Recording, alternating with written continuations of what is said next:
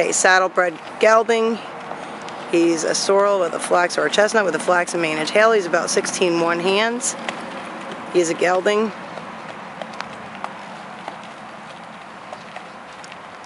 He looks to be an early teenager by his teeth.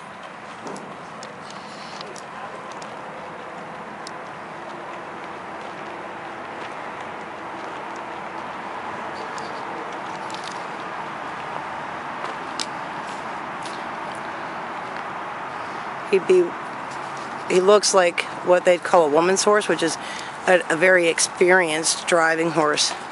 Easy to drive. Hip tag is 241.